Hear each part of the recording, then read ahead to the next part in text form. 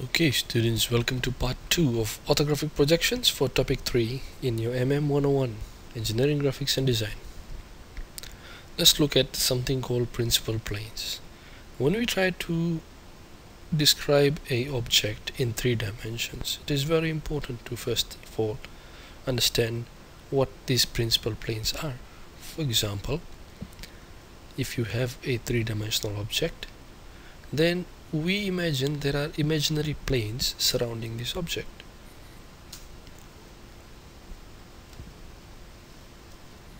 Okay, so this object we have shown here is a piece of a uh, 3D solid and as you can see the XYZ axis is there. Now let's look at what these principal planes are. The first principal plane is the horizontal plane. Okay, so this is horizontal in nature and it extends infinitely so we imagine the plane to have no end as well.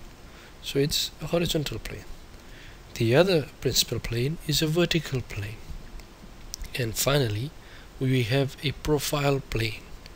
And these are all imaginary planes and we imagine our object being surrounded by these planes so that when we describe the object we can draw the projections onto these planes and then draw them on paper okay so let's move further.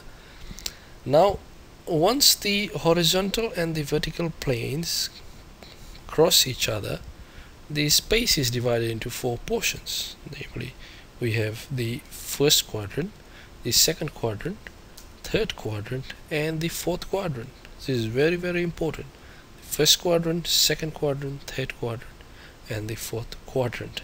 These are formed when you pass a horizontal plane and then intersect it with a vertical plane. You get first second third fourth quadrants. Basically space is divided into four portions. Let's look at the first quadrant again. That's the first quadrant second quadrant and finally the third and the fourth quadrant. So that's what we call first angle projection. Whatever is projected onto that plane in the first quadrant is called first angle projection.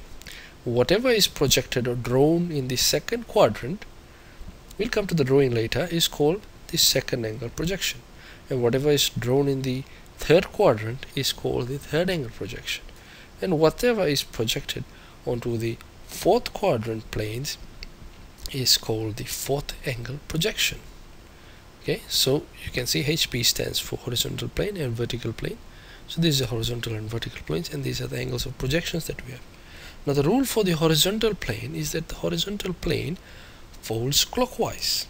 Okay, so we will now see how only the first and second or oh, sorry the first and third angle projections are useful and the second and the fourth are not so useful. This is because the horizontal plane will fold clockwise and if for example this plane was to fold clockwise this is what will happen is the second quadrant will fold on itself. And the same will happen for the fourth quadrant. Okay so that there will be views on the projections but the views will collapse on itself. So the horizontal and the vertical planes will basically fold onto each other. And you won't be able to see any projections. The only places where you'll be able to see any projections is the first angle projection and the third angle projection. Let's move on Let's look at first angle projection or first angle orthographic projection. Let's imagine this object here and it is encased by uh, let's say a glass box to say okay? So to make things easier let's get rid of this glass box okay? And let's look at projections. What is a projection first of all as we have discussed in part 1 projection is basically whatever the image is of the 3D object is projected onto the plane so in first angle we draw the projection on the furthest plane from the view. For example let's look at the front view. You see the direction of the arrow. You're looking at it from one side and drawing the view onto the plane on the other side. Okay so it's as if it's a shadow of the of the object. Okay so what we say is the viewer is viewing the object and drawing it on the furthest plane. Or you can say the object is in between the viewer and the plane. Okay let's look at left hand view. This is how it will look from the left hand side but we're drawing it on the right hand side plane. Similarly if you look at it from the top you don't draw it on the top you draw it at the bottom. Okay as if it is the shadow of that object. So that's why we say the object is between the viewer and the plane and the view is drawn on the furthest plane from the view. Okay? So if I was to fold this box up okay the horizontal plane folds anti uh, sorry clockwise and you will get something like this. Okay? So you have the front view the bottom view goes uh, on top actually and then you have the front view which is the front view sitting on top of the top view. So the top view is not in the actual place. In fact in first angle orthographic projection all the views change places. So the right side view sits on the left side. The left side view sits on the right side.